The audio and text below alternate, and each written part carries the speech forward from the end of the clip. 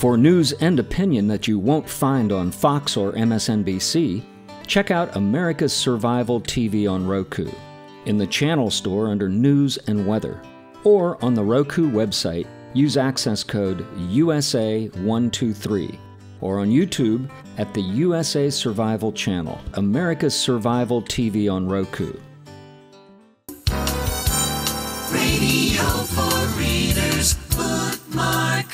This is BookMarc. I'm Marc Bernier. The nation's top authors are coming up next.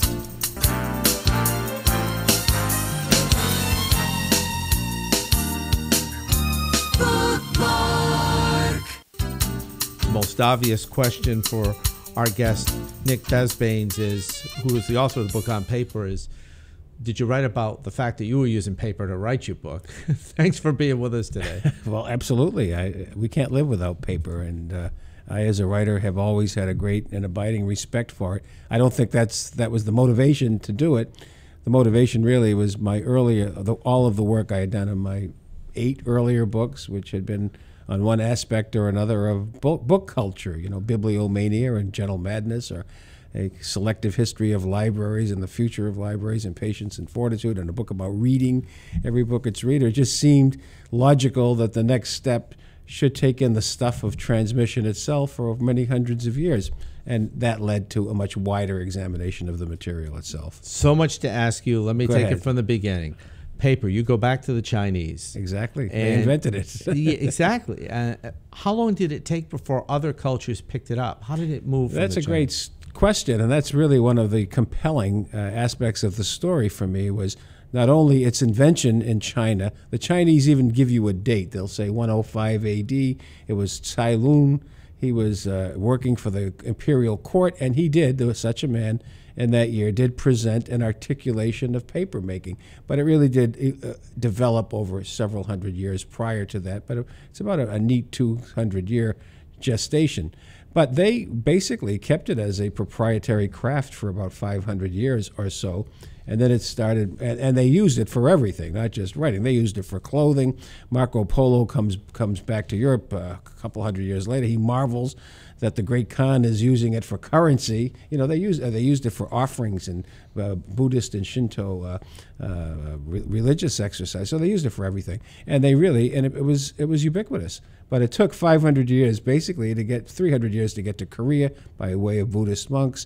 Then from there into J- Japan, and then on the other on the other side, moving along the Silk Road, one country after another. So that migration became really, really very, very uh, c- uh, compelling for me to study, and the fact that so much of it is documentable and that there are great stories surrounding it. Because to me, storytelling is the thing. You've got to have those stories. Before paper, how did people either record keep or preserve history?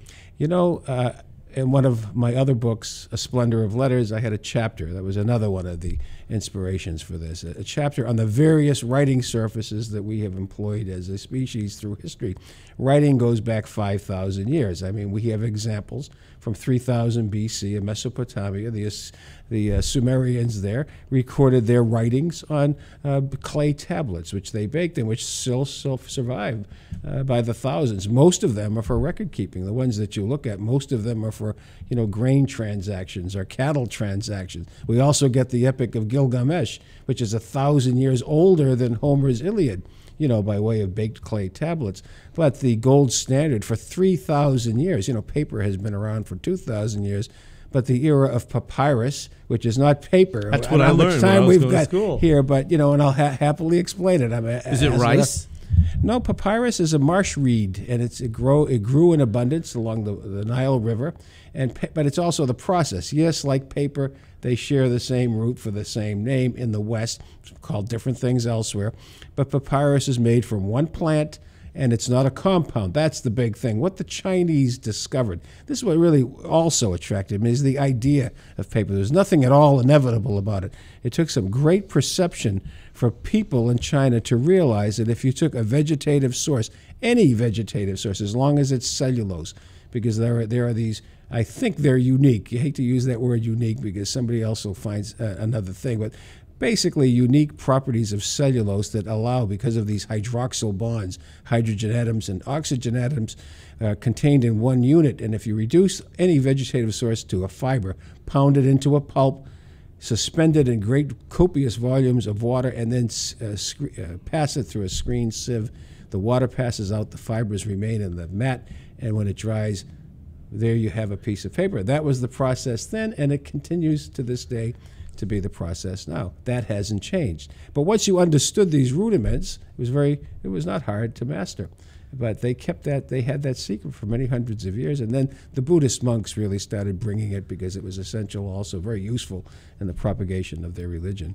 Nick, Bas- uh, Nick is our guest. On Paper is the book. Is there controversy, Nick, as paper develops, where cultures or countries worry about the destruction of, of property to make paper? In other words, trees. When we start publishing more books as society evolves, Yeah, that's a good we, question. we hear about it much later, but is there a fear that we're destroying uh, trees to make books? Well, that's the the use of trees, and I really devote a good deal of attention to that in the, the rags to riches chapter, was because rags were really the fundamental fiber uh, in Europe and also in the Middle East. The Chinese really didn't use rags; they used direct fiber. And by the way, the Chinese and the Japanese don't harvest the trees. They, if they use the paper mulberry tree or whatever, they take the the branches the, of young saplings, and what they take is the inner bark. It's called bast, a good one word, uh, one syllable word, and but it's that fibrous material, white fibrous material that they remove from the inner bark. But those trees are not harvested.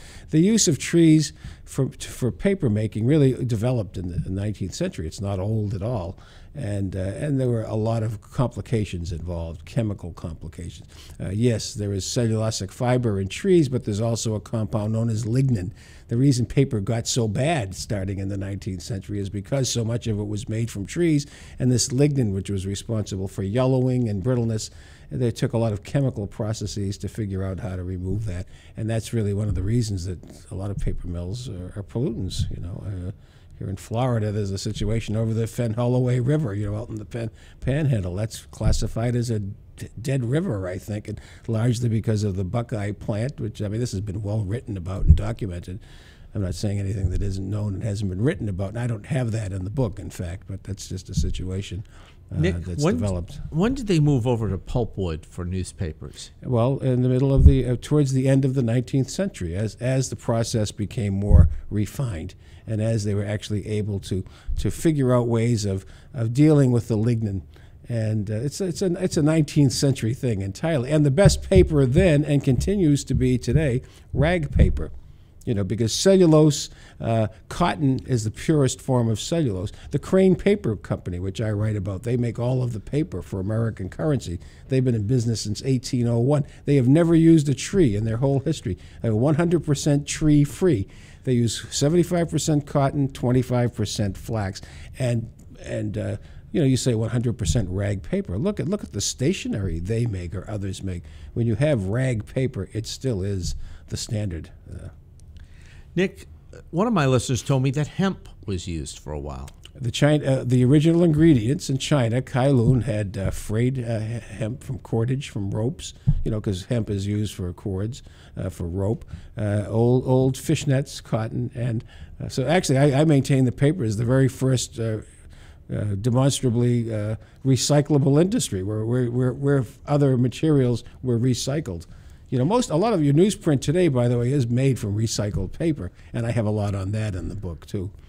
Is a part of it because it could ink could adhere to it? Okay, is that why they went to pulpwood? No, because it was abundant. It was It was abundant. inexhaustible. Okay. That- it really, it's because of the inexhaustibility of that that so many other things become possible. You know, we have, go into uh, you know hy- the hygienic uh, area. You know, I quote one fellow who was asked back in the '80s as the computers were coming on, Jesse Shera. He was asked about the paperless library or the paperless society, one or the other, and he said the paperless society is about as probable as the paperless bathroom. You know, Do you the- feel that way? uh, That- yes, yes, I do. In fact, I, I, I've, I'm, I'm writing a, an op-ed piece for a major publication, and the, the premise is the myth of the paperless society, Because, okay, yes, books are in decline with respect to using paper. Newspapers, we all know what's happening to them. Record keeping in the government, stock transactions, and I think that that's fabulous that that's happening, you know. I'm sorry I gesture like this, uh, but that's a good thing. But I also say, and I cite figures which indicate there are 20,000 identifiable commercial uses in the world today for paper, and they aren't going away anytime soon. And I give you a lot of uh, examples of where that's the case. Well, I also wonder too. This book comes at a time in which that debate is there. That was part of the idea, the motivation, sure. Universities are telling staffs we're trying to go paperless. Uh, banks, insurance companies, they all want you to do this stuff online, paperless situations. It's easier for them. It's not expensive to mail out bills. Um, there's postage issues. There's- a whole bunch of things that go. Can I make a comment on? Please, that's All what- right. So I'm asked this question: uh, What, what about the pres- What about preservation? What about the long-term uh, integrity of things that are born digital? You know, this is the first time in the 5,000-year history of writing and reading where you need a mechanical interface to read something. You need a software. Do you have any confidence at all that a, that a material that is born digital today will be available, will be accessible 100 years from now? I have held No a assurance. I have held a Gutenberg Bible in my hands, printed in the 1450s, the one at Princeton University. And that paper looks as gorgeous today as it was when it was produced half a millennium ago. And the only the only qu- qualification I need to be able to read that is an ability to read Latin. You know, I don't need a software that might be uh, obsolete 10 years from now or a 12-inch disc. Who has machines that read 12-inch discs or 5-inch discs or magnetic ta- magnetic tapes that have degraded? I talked to the National Archivist in this book because they are the custodians of 80 billion pieces of paper.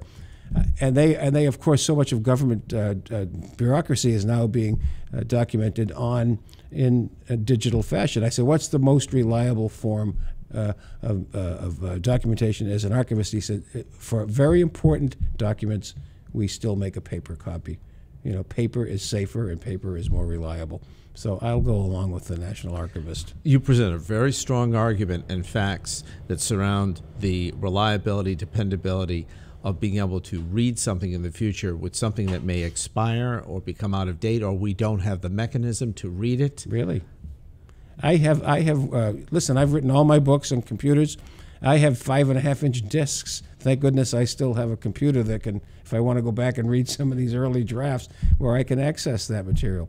Uh, uh, it's so much easier to have paper documents, I guess, but I'm not, I'm not a Luddite, please. I write on computers. I use the, pardon me, I use the internet. I do a lot of uh, uh, online research. But, you know, why can't one coexist with the other? The era of papyrus coexisted for a thousand years with paper before papyrus was gone. Parchment was in the mix at the same time. You know, I, I have a profile of Robert Darnton at Harvard University, custodian of more than 17 million books, largest library, academic library in the world. And he said, you know, we can have both. And he's also one of the great proponents of digital libraries. You know, you use the best of one and you use the best of other, uh, of the other. And his most recent book was called "The Case for Books," and books as we know them is was the was the suggestion. Nick, before you go, what's the reaction of the publishers and other people that make their living still with paper? Are they applauding your writing or are they concerned? I hope so. I don't hear from them directly, but uh, I have had a lot of wonderful positive uh, feedback from the book uh, with reviews and, and and the enthusiasm I sense when I speak, and I've given a lot of really very satisfying. Uh, talks so far at uh, such places at the Library of Congress and the Boston Athenaeum and the American Philosophical Society. That's and, and what- they, and they've been very supportive. I'm glad you brought that up because I didn't want this interview to end before I asked you the future of libraries. We had a discussion on our radio program about this. With so many people going to the internet to do their research and so much going on with computers, Libraries have never been busier. they've never. Why is that? Well, Is it a certain demographic? Well, I think libraries are, are more than just repositories for books. You go there to learn things, and, and they, they, they're savvy. You know, I mean, they have electronic uh, uh, things there for you to access. I just think a, a, a library is also the people's library. Uh, you know, it's the people's university. I, in one of my books, I told how so many great scholars did all of their work in public libraries. I, I think it's, it's a lot. Uh, it's a very complicated uh, question to answer, but uh, and it goes beyond just being a repository for, for uh, books and works on paper. So- but I believe the library has a great future. I was just going to say, good news for our listeners and viewers is that libraries, according to Nick Basbanes, not going away soon. That's it in a nutshell. On paper. Nick Basbanes, our guest today on the BookMarc program at Miami Book Fair. Nick, great seeing you, sir. Thanks thank so you. much. Thank you, sir. That's BookMarc for this week. If you have comments or thoughts on future authors, send an email to us at our website, bookmark.us. That's our broadcast for today. Thanks for watching.